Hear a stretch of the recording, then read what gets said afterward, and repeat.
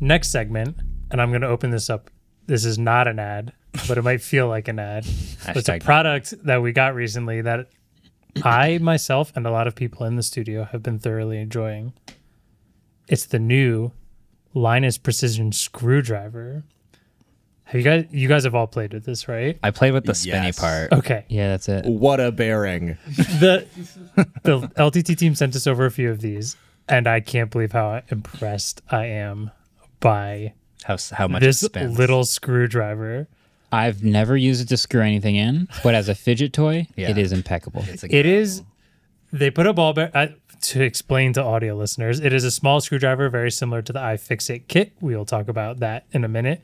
Um, small precision screwdriver for smaller, you know, precision tasks. precision tasks that are unlike what the regular line of screwdriver is, which I also use and I it's also very big. like a lot. Yeah. Um, but not normally in these small precision screwdrivers do you have a bit compartment for it when you pull up the top. Yeah. But what they did specifically that is fantastic with this thing is they put a ball bearing in the little top that has their logo on it, and this sucker rips. It does.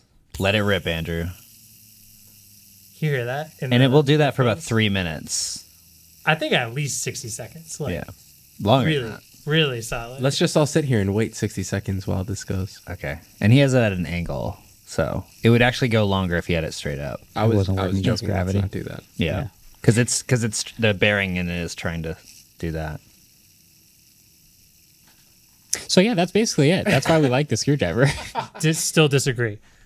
This also, I just want to say for every competition we've had in here of who can spin it the longest, I've won every time. Just saying. Really? Is that why Yes. you like it so much? Wait, but Maybe. Marques can rip a frizz, so he might be able to do it even harder. I mean, okay, I'll just do a really quick breakdown of what this is. For thirty dollars, you get. Oh, It's just broke it. $30. That's it? No, no, no, no. Hold on. screwdriver no, was- it is thirty dollars for just the screwdriver Oh. with no bits. The reason they did that is because, from what I heard, they match the bits with the iFixit kit to like fit, fit perfectly because they've already, s you know, partnered with iFixit a bunch. It's just a hexagon, right? Uh, I'm yeah, buying one right now. There is something Not very, an ad. There's something very specific that they mentioned with how the bits fit, whereas like Or a magnet, some screwdrivers measure the inside to the standard, where they measure the opening to the standard, where some the bits are measured to the standard. So if you have one of one and one of the other, it won't fit because they'll be the same size. One has to be bigger, one has to be smaller. And I think iFixits are a little different. So they actually match theirs to fit with iFixit. So if you have an iFixit kit already, because a lot of ah. LTT fans have an iFixit Because it was kit, sponsored. Yeah, they've been sponsored by them Yep, a lot. you can for thirty dollars buy this, and it can replace your iFixit screwdriver because this does garbage. not spit any. This is a great screwdriver. Is screwdriver. that like the only still. difference? Is It that just it doesn't, doesn't spin, as well, and it doesn't have the compartment on the inside. Oh yeah. they also did a great job with the compartment because it has this very nice mechanism to where it just actuates and goes down. It's, never pretty like, cool. stuck halfway through. If you have the uh, okay, Say that again. well, if you have the iFixit kit thing, you You're just buying the new screwdriver for the mechanism You're just put 'em in buying this. and the fidget toy. You can put them in there, but if you're like taking it somewhere, you can put a couple Yeah. inside. You Keep your them like- favorites. Yeah, or You know, if it's you, like your bookmarks. if you only use five or six, you can keep just basically that in your drawer. If I were doing this, I would probably keep the standard ones that I use for like all my computer builds up here, so I don't have to remember each time because it they're so ratcheting? minuscule. Uh, I don't believe so. Oh. No, it's not ratcheting. Mm, non-ratcheting screwdriver. Um, I'm a s- I'm a fanboy for the OG Linus Tech Tip screwdriver. Tech Tips, That's yeah. the one. It is a really great I, screwdriver. That was I have that one. that ratchet. It ratchets. It Yeah. has a little bit compartment. It doesn't spin, but it's pretty good. Yeah, it does. Yeah. Uh, a lot of people also recommend an electric screwdriver. on, yeah, uh, uh, there's a very Amazon. specific one all the keyboard people Electric use. Magic Stick, I think, or something. So is this like somewhere in between like a drill and a Yes. analog screwdriver? analog- wow Stick, Wow Stick Wow is a very popular one in the An keyboard acoustic world. screwdriver. an analog screwdriver. and a- Um, but so thirty dollars for the screwdriver, fifty dollars for the case with sixty bits.